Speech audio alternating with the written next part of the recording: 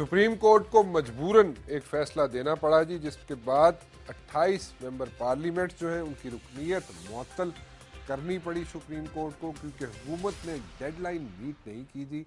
और ये मसला इसलिए खड़ा हुआ कि कमीशन के मेम्बरान की तश्कील नहीं हो पाई हुकूमत की जानब से। एक मसला खड़ा रहा, मसला ये था जी कि मेंबर्स जो हैं, वो दो साल के लिए होंगे या पाँच साल के लिए होंगे।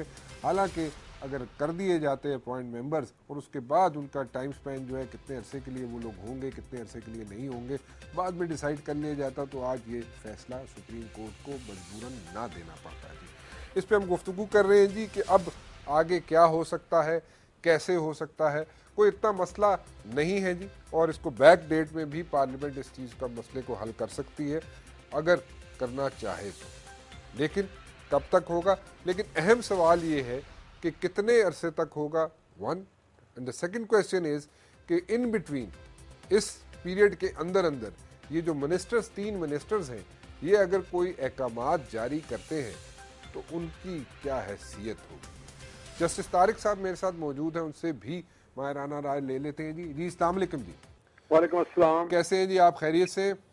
अल्लाह के शुक्र जी मेहरबानी। जस्टिस साहब एक बात बताइए ये मजबूरन फैसला देना पड़ा सुप्रीम कोर्ट को?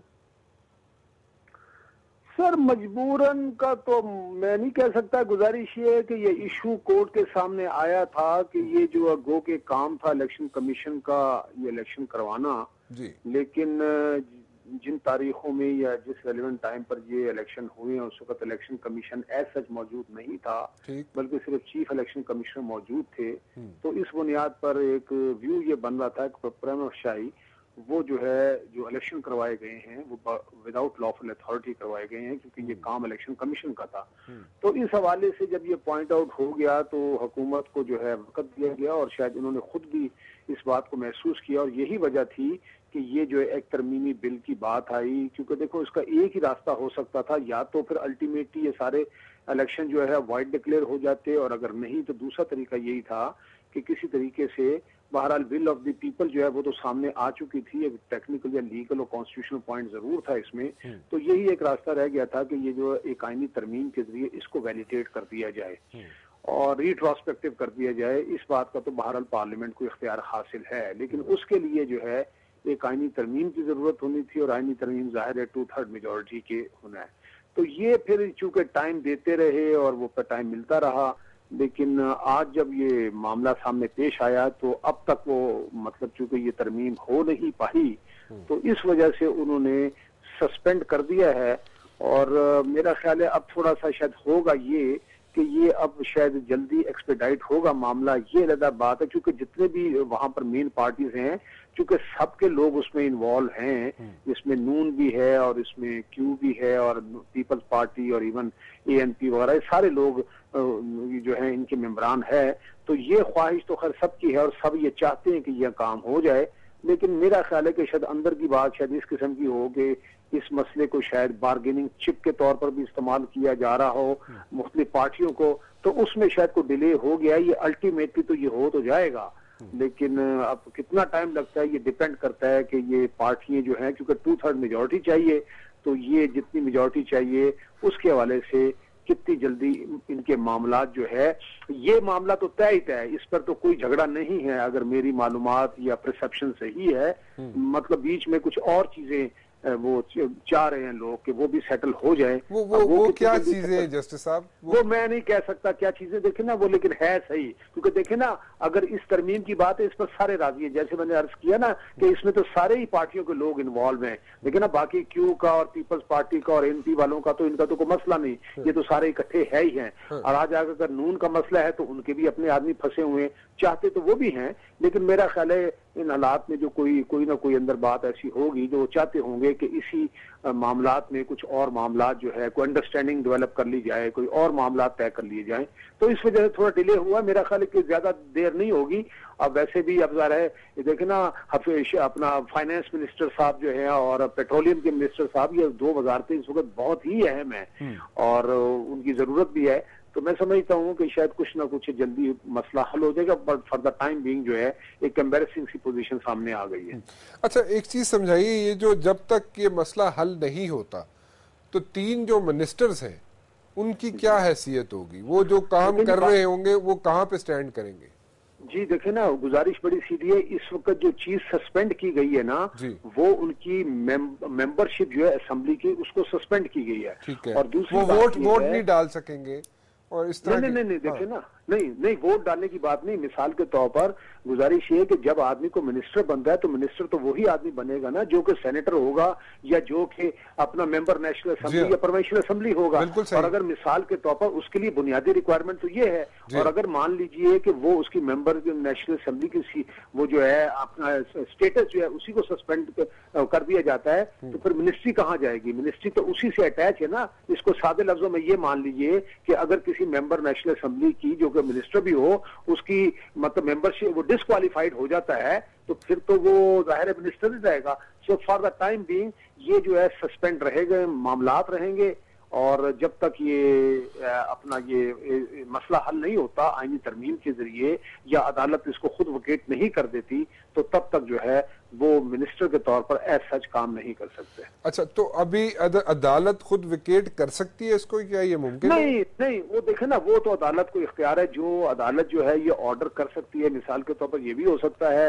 ये आज ही वैसे उन्होंने रिक्वेस्ट तो की थी कि जनाब ये थोड़ा सा टाइम दे दें वो नहीं तो दरख्वास्त तो दी जा सकती है ऑर्डर को अदालत को कहा जा सकता है जनाब ये डिफिकल्टीज है ये हो जाएगा और आप थोड़ा सा मेहरबानी करके फॉर द टाइम बीइंग हमको कुछ हो तो अदालत के पास तो इख्तियार है हम्म। ज़ाहिर है, जिसके पास ये इख्तियार है कि उनको सस्पेंड कर सकते हैं तो उनके पास ये इख्तियार भी है कि उसको विड्रॉ भी कर सकते हैं। लेकिन मेरा ख्याल ज़्यादा ज़ोर वो उस तरफ़ लगाएँगे कि इस मामले को वो जो है, जल्द से जल्द जो है, वो पाया तकमील तक पहुँचा दें। लेकिन अगर वहाँ पर मामला लटक गया तो हो सकता है फिर वो अदालत में भी, अदालत में दरख्वास्त देने का जो है ना, वो रास्ता तो खुला है। अदालत मानती है या नहीं मानती है दैट्स ए डिफरेंट इशू अच्छा मैं एक एक चीज़ एक पूछना और चाहूँगा, जरा इस पे एक आपने गुफ्तगु की थी। आपने कहा जी, तीन जो मिनिस्टर्स हैं वो जो भी उनकी मिनिस्ट्री से भी वो लोग सस्पेंड रहेंगे एज मिनिस्टर्स वो नहीं होंगे क्योंकि बेसिस जो है वो तो रुकनीत है पार्लियामेंट की। वो ही नहीं होगी तो फिर वो मिनिस्टर कैसे रह सकते हैं? तो इस वक्त हम ये समझें कि हमारे पास पेट्रोलियम मिनिस्टर हमारे पास फाइनेंस मिनिस्टर और ये दूसरे जो मिनिस्टर हैं जनाब खुदा बख्श साहब ये लोग हमारे मिनिस्टर नहीं है इस वक्त। नहीं ये बिल्कुल ये मिनिस्टर नहीं है इसका एक दूसरा रास्ता जो प्राइम मिनिस्टर साहब के पास ऑप्शन है हम्म। क्योंकि ये मिनिस्ट्री बहरहाल फाइनेंस और पेट्रोलियम स्पेशली बहुत इंपॉर्टेंट है फॉर द टाइम बीइंग ये मिनिस्ट्री जो है किसी और को भी दी जा सकती है या प्राइम मिनिस्टर खुद भी वो पावर एक्सरसाइज कर सकते हैं अच्छा। क्योंकि देखिए ना बहुत सी चीज़ें नीचे से तय होकर आती है हम्म। लेकिन अल्टीमेटली आती है फिर मिनिस्टर के सिग्नेचर होते हैं या मिनिस्टर को समरीज पुट होती है तो ये काम जब तक के वो ये मामला रिजॉल्व नहीं होता तो तब तक ये जो है ना जैसे मिसाल के तौर पर किसी मिनिस्टर के पास ऑलरेडी अगर दो डिपार्टमेंट है तो उसको फाइनेंस का भी दिया जा सकता है उसको जो है पेट्रोलियम का भी दिया जा सकता है। तो और अगर नहीं तो फिर एक और बात है कि वो मिनिस्ट्री फिर दूसरे लफ्जों में प्राइम मिनिस्टर के पास रहेंगी जब तक कि ये वो किसी और को वो नहीं देते।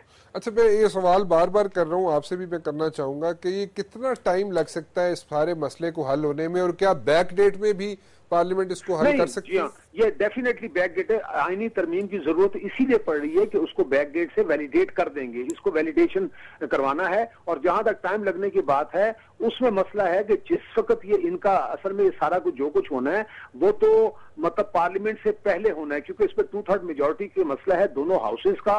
तो वो गिनती को उन्होंने पूरा करना है। जिस वक्त उन्होंने बैठ के कमरे में फैसला कर लिया कि मामले तय तय हो गए तो ये तो दो मिनट का काम है। मतलब दो मिनट का मतलब मेरा कि एक दिन एक हाउस में जाएगा, वहाँ पर बात होगी, वहाँ से होगा सेनेट में भिजवा देंगे सेनेट से हो जाएगा तो फिर उसके वजह अगर एक दफ़ा ये आपस में इनका मामला तय हो जाता है तो फिर तो कोई टाइम ज़्यादा नहीं लगेगा, लेकिन टाइम सिर्फ़ उसी, उस वक्त तक लगेगा जब तक मामला इनके आपस में तय नहीं होते।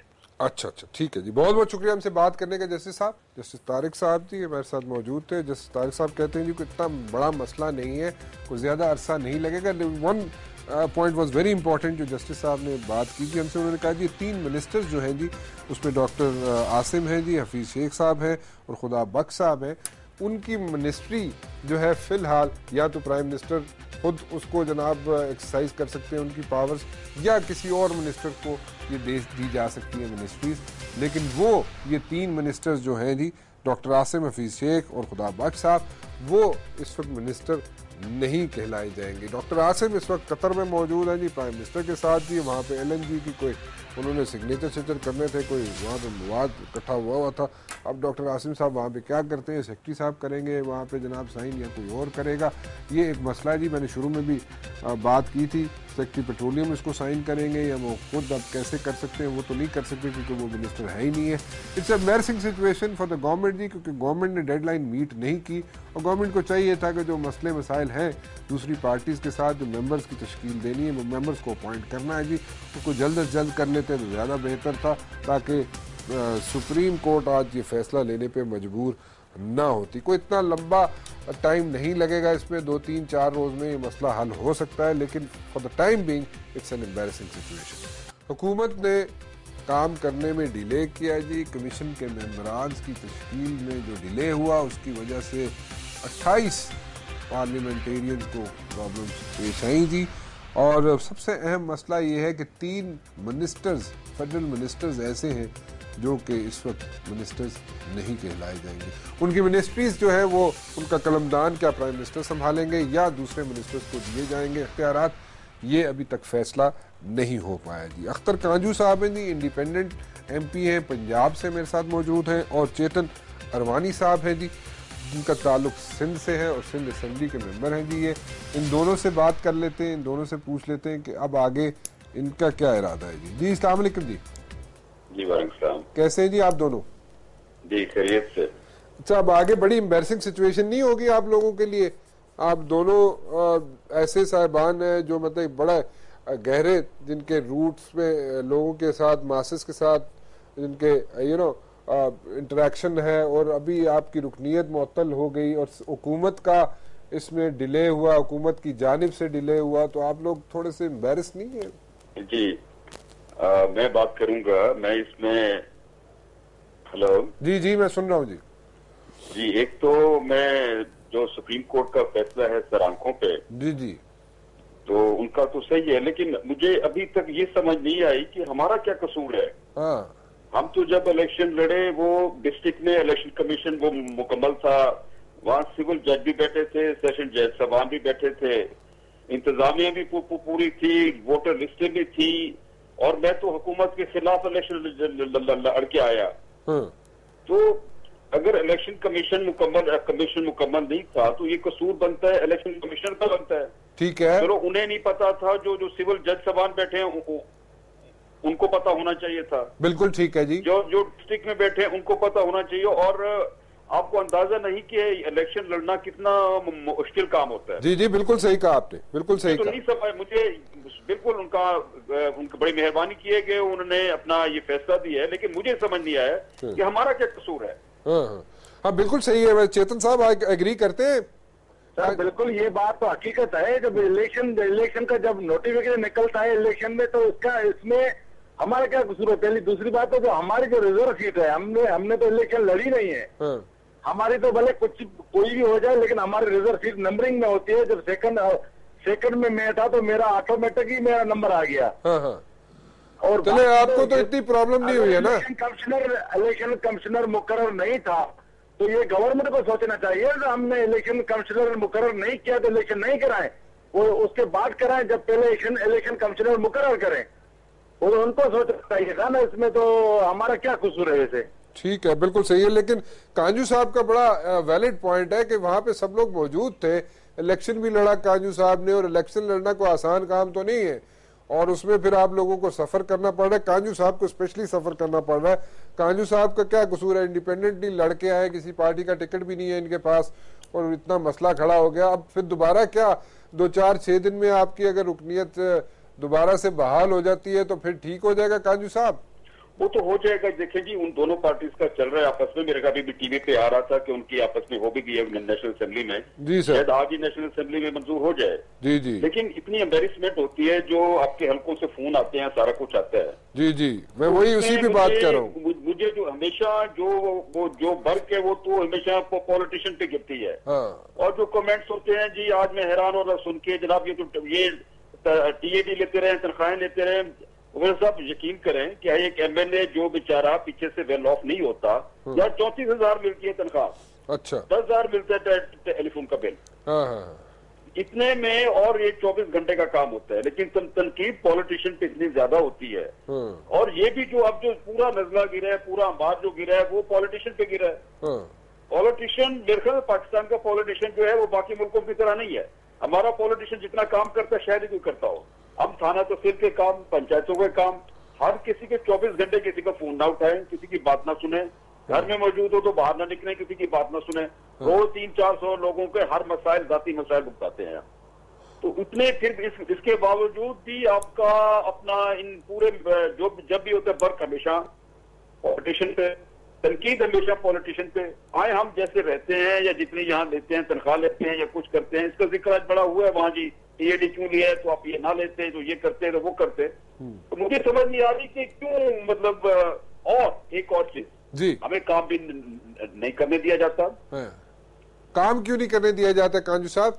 आप आप देखिए मैं तो पिछले दौर में I was last time I was also M N A I resign from the assembly और जो मुझे वहाँ उस वक्त आई एस आई वगैरह से जितना करना पड़ा मेरे लॉजिस पे रेड रेड हुए मुझे मैंने रिजाइन किया। उस टाइम में बारह मई के बाद मैंने अपना मैं एक मैं शुरू था। मैंने इनके जो जुडिशरी की बहाली के लिए मैंने डंडे खाए। मैंने सारा कुछ किया। मैं इस सारे प्रोसेस को जानता हूँ। देखें अब जो बैठे हुए प्राइम मिनिस्टर जब जो गवर्नमेंट बैठी हुई ना इनके पास डिफेंस है ना इनके पास खजाना है ना इनके पास इंटीरियर है ना इनके पास फॉरन है। फॉरेन मिनिस्ट्रीज हैं। इनके पास जब आप पॉलिसी नहीं बना सकते कुछ नहीं बना सकता लेकिन फिर भी बेचारे पॉलिटिशियन तनकीद का निशाना बनते हैं। बिल्कुल ठीक कहा जी।